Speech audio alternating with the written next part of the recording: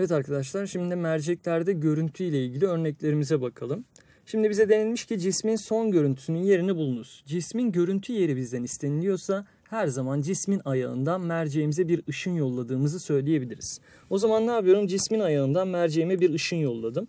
F bölü 2'den gelen bir ışın uzantısı F'ten kırılmak zorundaydı. Uzantısı F'ten kırıyorum arkadaşlar. Ve burada da artık 2F'ten gelen bir ışın tekrardan 2F'ten kırılacaktır diyebiliriz. Yani cismin görüntüsü artık bu noktada oluşmuştur diyebiliyorum. Eğer son görüntünün boyu bizden istenilirse o zaman ne yapmamız gerekiyor? Şimdi arkadaşlar burada f bölü 2'den gelen bir cismin görüntüsü uzantısı f'te oluşmuştu. Boyu o zaman ne olacak? 2 katıma çıkacak. Neden? Çünkü mesafe 2 katına çıktıysa boy değerinde 2 katına çıkması lazım. Bu h ise artık buradaki boyun 2h olduğunu söyleyebiliyorum. E peki burada 2F'den gelen yine 2F de görüntüyü oluşturmuştu. Mesafe aynı kaldığı için boyu yine aynı kalacaktır ama buradaki görüntünün artık ters bir görüntü oluşturduğunu söyleyebiliriz. Yani görüntü boyu eğer bize sorulsaydı yine 2H kadardır diyecektim ve görüntünün ters oluştuğunu söyleyebilirdik.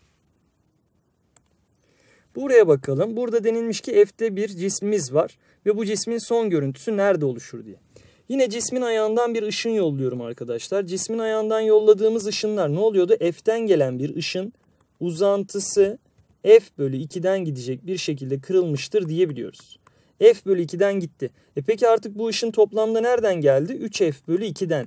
3F bölü 2'den gelen bir ışının ise 3F'ten kırıldığını söyleyebiliyoruz. Yani görüntü artık burada oluşacak. Peki arkadaşlar eğer bize yine görüntünün boyu sorulsaydı o zaman ne yapacaktık? Burası h ise oluşturduğumuz görüntü burada ne kadardı? h bölü 2 kadardı. E peki h bölü 2 boyundaydık. 3f bölü 2'den gelen 3f'e gitti. Mesafe 2 katına çıktıysa boyun da 2 katına çıkması gerekiyor. Ve görüntü artık burada ters oluşuyordu.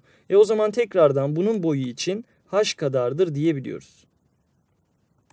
h kadardır dedim. Cismin son görüntüsünün yerini bulunuz denilmiş. Arkadaşlar yine ne yapıyorum? Burada cismin ayağından bir ışın yolladım. Yolladığımız ışınlar asal eksene paralel gitti. Sonrasında e, asal eksene paralel gelen bir ışın kalın kenarlı bir mercekte uzantısı odaktan kırıldı. 2F'den gelen bir ışının yine 2F'den kırıldığını söyleyebiliyoruz. Yani aslında yine ne yapmış olduk biz? Cismin yerini bulurken, görüntünün yerini bulurken ışınları kırarak kırılan ışınların son noktadaki yerini bulduğumuzu söyleyebiliriz.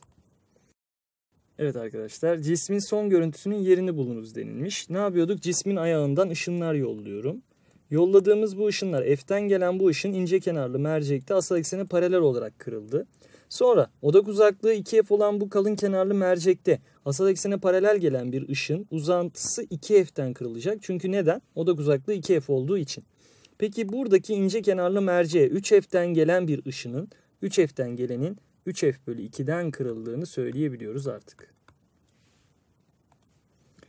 Merceğin odak uzaklığı kaç santimdir diye sorulmuş. Arkadaşlar burada cismimiz var ve burada da görüntümüz var. E ne yapıyorduk biz burada? Cismin ayağından ışınlar yollamışız ve bu ışınlar uzantıları görüntünün ayağından gidecek bir şekilde kırılmıştır diyebiliyorum. E o zaman ne diyeceğiz? 1 bölü f yalnız kalın kenarlı olduğu için eksi 1 bölü f diyorum. Eşittir 1 bölü 120 Eksi. Neden eksi? Çünkü uzantılar asal ekseni kestiği için. O zaman buraya ne demem lazım? Eksi 1 bölü 40. Peki şurayı artık 3 ile çarpıyoruz. Eksi 1 bölü f eşittir 1 eksi 3 bölü 120'dir dedik. Ve buradan da f dediğimiz odak uzaklığının 60 santim kadar olduğunu söyleyebiliyoruz. 60 santimdir dedik. Görüntünün boyu kaç h'tır diye sorulmuş. Görüntünün boyunu da bulurken arkadaşlar şimdi ne yapmamız lazım? Burada d cisim bölü d görüntü eşittir h cisim bölü h görüntüydü. E o zaman yerine koyalım. Burası bizim için h kadar ise cismin boyu h kadar ise cismin merceğe olan uzaklığı 120 bölü görüntünün merceğe olan uzaklığı 40 eşittir diyorum h bölü h görüntü. E buradan da artık h görüntünün h bölü 3'e eşit olduğunu söyleyebiliyoruz. Şekildeki düzlem ayna ve ince kenarlı mercekten oluşan sistemde AB cisminden çıkan ışınlar önce düzlem aynadan yansıyor, sonra ince kenarlı mercekte kırılıyor. Buna göre denilmiş son görüntü numaralandırılmış vektörlerden hangisidir diye sorulmuş. Arkadaşlar öncelikle düzlem aynada görüntümüzü oluşturuyoruz. E burada yine ne yaptım? Simetri alıyorum. Şurası B noktasına karşılık geldi. Ve yine burada düzlem aynada simetri aldım. Şurası da A noktasıdır dedik. Ve arkadaşlar artık bu cisim ince kenarlı merceğin merkezinde. Merkezdeki bir cismin görüntüsü yine diğer tarafta merkezde ve eşit boydaydı. Sadece ters dönüyordu.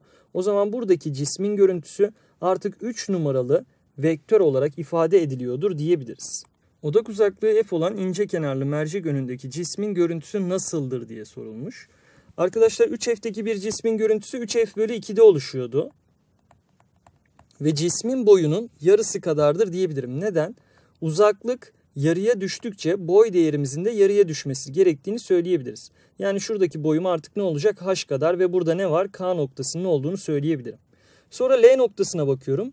E, merkezdeki bir cismin görüntüsü ters ve merkezde ve cisimle eşit boyda oluşuyordu. Yine H boyunda ve bu L noktasını artık buraya taşıdık. Sonra M noktası 3F bölü 2'deki bir cismin görüntüsü 3F'de oluşuyordu. Mesafe 2 katına çıktığı için boyun da 2 katına çıkması gerekir. Yani artık burası 2H'tır diyoruz. Ve burada da yine neyimiz oluştu? M noktamızı oluşturduk. Bu noktaları birleştirdiğimiz zaman oluşan şeklin artık bu tarz bir şekil oluşturduğunu söyleyebiliriz.